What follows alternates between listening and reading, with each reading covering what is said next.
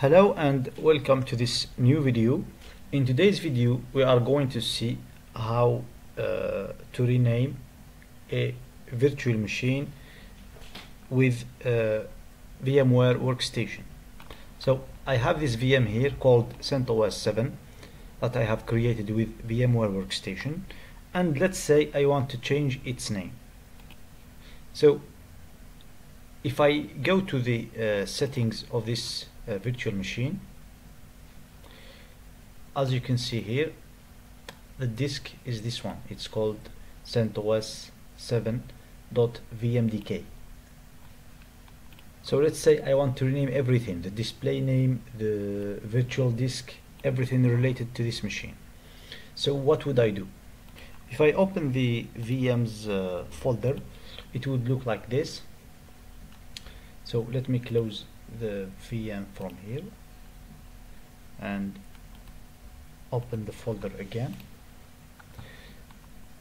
So these are the files of this virtual machine. The main file here is obviously the uh, virtual disk that has six and a half gigabytes uh, at this time. So the first thing we are going to do is rename this vmdk file. So let's call it for example let's call it CentOS 7 VM01 okay? And let's use this name for all the uh, the rest of the files just to be consistent.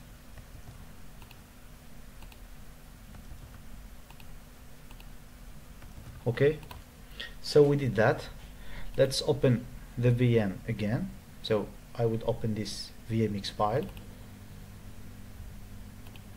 As you can see the display name of this VM is still CentOS 7 okay let's try to start it. And it's going to give me an error. File not found CentOS 7.vmdk so it's giving me this error although I change uh, because I changed the uh, vmdk file name. So what's the problem here the problem is that this vmx file is is still referencing the old vmdk file. So if I want uh, the vmx file to be able to find the new vmdk file I would have to open this vmx file and edit it. Okay? So if I open the vmx file and look for anything that has CentOS uh, in it you can see that we have uh, four occurrences. The, the first one references the NVRAM file, but this uh, this file we have already uh, renamed it, but we, we still need to change it here. So we need to put uh, the new NVRAM file name here, CentOS 7 VM01.nvram. The second occurrence of CentOS 7 is this one, display name. So we don't have to, but we can't change the display name of this virtual machine. The third occurrence, and this is a very important one, is the uh, VMDK file name.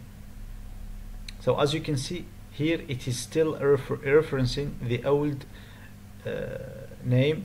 So let's change that. Let's make it CentOS 7 VM01.vmdk. And last, the uh, vmxf file. Not so important file but we already renamed it so we can put the new name here. Okay?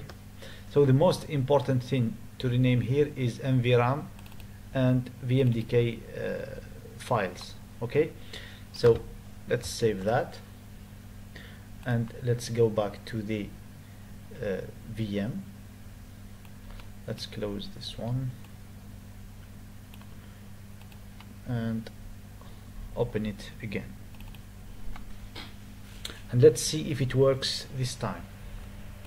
So the first thing you notice here is that the uh, display name has changed. Okay? So it means that uh, we are uh, doing things correctly. Let's try to uh, start the VM now. Let's see if it starts. Okay it seems like it was able to find the VMDK file but is it is asking me a question. This virtual machine might have been moved or copied in order to configure certain management and networking features. VMware Workstation needs to know if this virtual machine was moved or copied. If you don't answer if you don't know answer I copied. Okay uh, I don't know what's really the difference between I moved and I copied. I usually do I copied and it seems like things are working fine uh, now. So we can say that we have successfully uh, renamed this virtual machine. So this is it guys. That's what I wanted to show you in this video just how to rename a virtual machine properly. I hope this video has been helpful for you and thank you for watching